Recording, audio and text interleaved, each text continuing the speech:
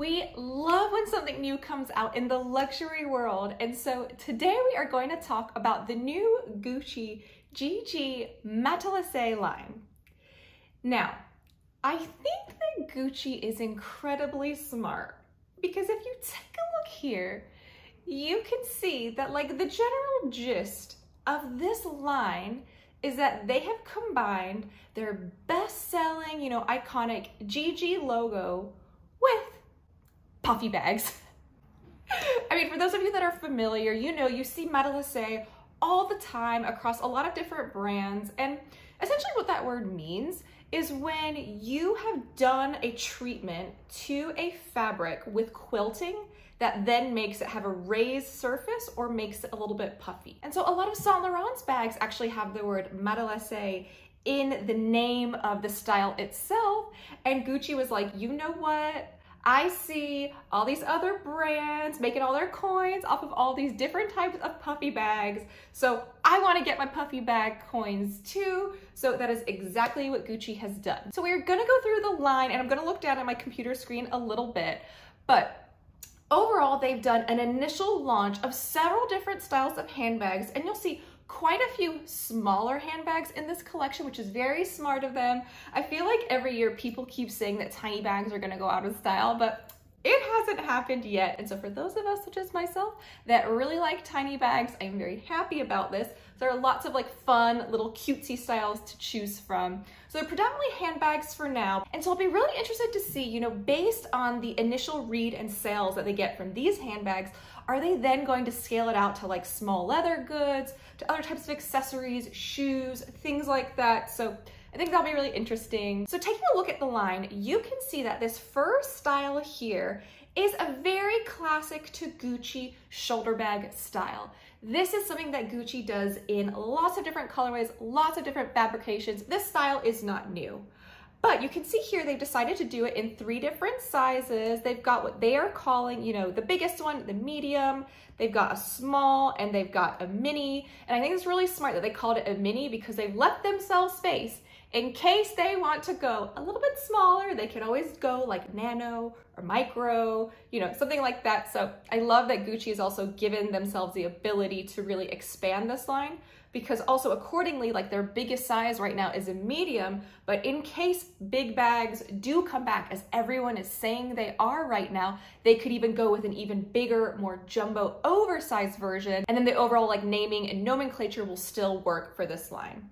And you can see that they've got, you know, basically like the neutral leathers covered here. They've got black, they've got this gorgeous like toffee caramel dark brown color, which is absolutely stunning. They've got gray, they've got a light tan, and then this is the one, this green right here is what makes me think that they definitely took a page or quite a few pages out of Bottega Veneta's book. So take a look at this bag and tell me what does it look very similar to? A padded cassette bag. I mean, Gucci took a lot of different elements from Bottega's ever popular, ever successful padded cassette bag. And I mean, I do understand it. It has been a wildly successful bag. And obviously, you know, both Gucci and Bottega are owned by the Kering Group, you know, a much bigger parent company that owns lots of different luxury brands. So probably like if I'm like reading between the lines here and I think about what had happened, I think like some exec at Kering Group was like, you know what, Gucci, you're a huge brand, you've got a lot of additional sales that you need to achieve this year. Why don't you go puffy like everyone else is doing? And let's do it based on what we know is basically the most successful puffy bag out of all of them, arguably speaking, is the Bottega Veneta padded cassette bag in that beautiful, bright, like acid green parakeet color with the gold chain. I mean, that's basically what they've done here. They've taken, you know, their interlocking GG print, They've put it into a leather. They've done the Matelassé treatment. So by quilting it, they've made this very like beautiful, puffy, luscious green bag. They've added a gold chain to it and it's very similar in shape and size to the padded cassette.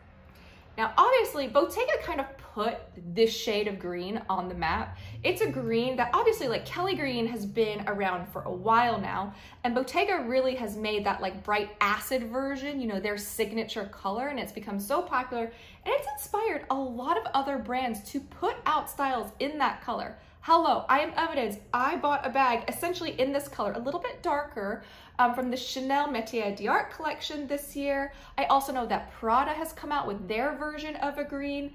Now I will say they've called it mango, which I know there are green mangoes, but typically like if you were to name something mango, I would think that would be the yellow color. So I feel like they had a little bit of a misnomer there, but like Prada is on the green bandwagon too. And now Gucci has done the same thing. And I feel as though Gucci has not just like really taken a lot of um, quite on the nose inspiration from the Bottega Veneta padded cassette bag, not just with the color and with the quilting, but also with the gold chain. I mean, this is actually quite a thick gold chain for Gucci. Like Gucci does not do big interlocking crazy chains on their handbags. So this is actually on the thicker side for them, a lot more substantial and weighty of a chain. But they have not just taken inspiration from Bottega, and I think they have very closely followed the launch strategy also of the Louis Vuitton Coussin bag. Think about it. The Coussin bag was a bag that, you know, really divided the luxury community in terms of who liked it and who didn't.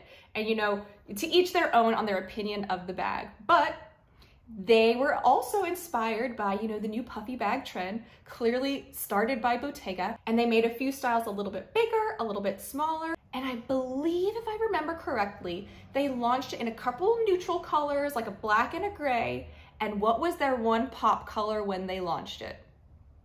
It was a bright acid green.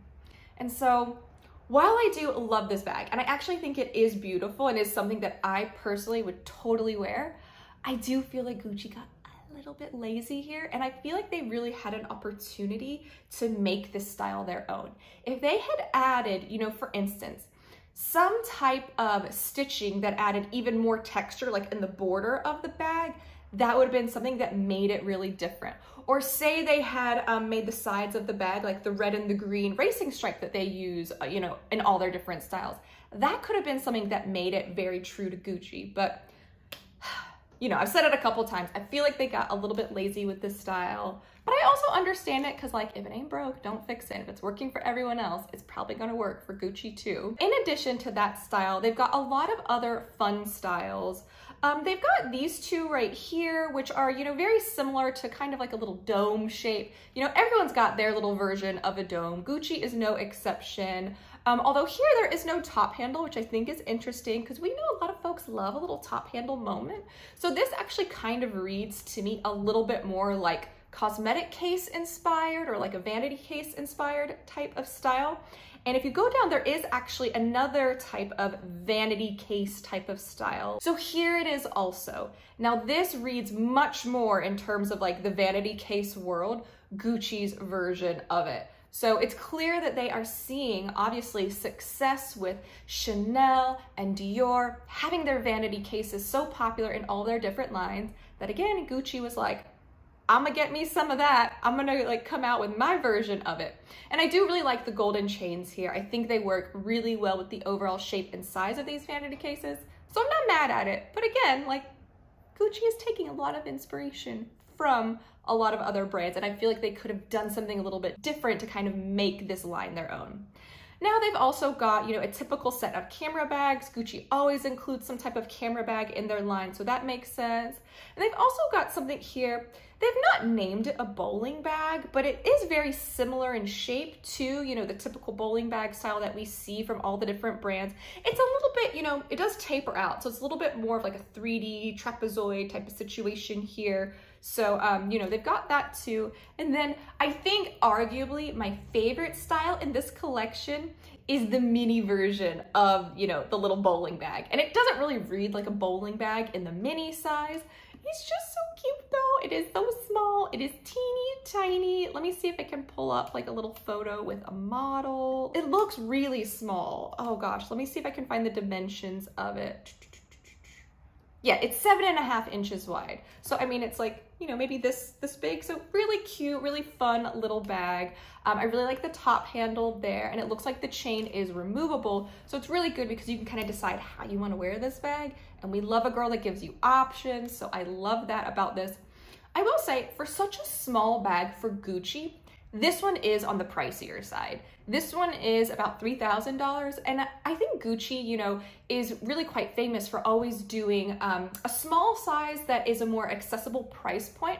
And they even talked about it in their recent, you know, pricing strategy, capital markets day um, presentation. I'll link the video where we do like a huge deep dive on that. They talked about retaining, you know, their more accessible entry price point bags in order to attract new customers to the brand. So I actually am quite surprised that they are charging $3,000 for this size bag that does feel a little bit, you know, steep in my opinion. So I am surprised by that, but you know what? Gucci, they are the experts. They've been around forever. So clearly they know something that I don't know. And very surprisingly, I mean, the large size of it, it's only about $500 more at $3,400. So that makes all that much sense to me because they do seem very different in terms of size. Then they've also got, you know, a very stereotypical wallet on chain. Gucci's always got a wallet on chain. But I did also just want to highlight, I think, one of my other favorite styles here, and that is the tote bag. When I first looked at this line, you know, I quickly took a peek through and I was like, ooh, I want to do a YouTube video about it. And then as I was thinking about it, I was like, how many puffy, structured tote bags have we seen from other brands? Now, obviously we know Saint Laurent has recently come out with their very big, oversized, puffy uh, bag, but it's not like a structured tote. It's very floppy, it's very soft, whereas this is like a proper tote bag, like something that you would wear to work. I don't know if the other one really feels like formal enough could be like a good commuter bag, but I don't know about like a professional work bag, but also probably depends on like your working environment. So I really love that because I feel like these tote bags do feel different than a lot of the other tote bags on the market right now. So I think these are gonna be a really interesting style. And then they've got, you know, some other like bigger like duffel bags. They've got some like, they kind of look like pouches, kind of like toiletry cases, you know, things like that. And then they do have a couple different SLGs. So they've got a big long continental wallet, but obviously we know like market trends are shifting much more towards smaller wallets. So they've done a couple different types of card holders. They've done the singular versions and then like the fold over ones. So got a few different card holders that you can choose from. And then the one accessory kind of outside of the handbag and SLG world is a belt that they have done here. And I think that this is a really interesting one because it looks like a very thick waist belt. And I don't know about you all, but when I am using a waist belt, I do not want to add any extra volume there. I mean, I'm trying to make my waist smaller by cinching it in with a belt. So I don't know how successful the puffy waist belt is going to be. So I'll be really interested to see if I see any unboxings of this belt on YouTube because I don't know. I'm gonna be honest, I don't have much faith in this style. But I will say it is at like a pretty fair price point. It's $6.95, which in the world of luxury belts, like isn't too bad. So Overall, that is really everything that I can see about the GG Matelassé line here on the Gucci website. If I can at some point, I will try to run into Gucci, try some on. If I can, I'll try and vlog it a little bit so I can kind of show you what it really looks like like on the body, you know, so you just kind of see like for yourself, is it something that you want to invest in or not? But overall so far, I would love to hear your initial thoughts on this line and if this is something that you think you want to invest in, are there any pieces that so far are really jumping out at you? Or are you gonna kind of like hang tight a little bit, see if other people start buying it and then kind of make your decision? Definitely drop your thoughts down in the comments below. So I hope you all enjoyed this video. And if you did, I would really love it if you could just give this video a little like. Just give a little thumbs up down in the corner below. And if you haven't already, what are you doing? you need to subscribe to my channel so that way you can get all my latest content about all things shopping delivered straight to you. Thank you again so much for watching. My name is Lily and I can't wait to see you next time. Bye everyone.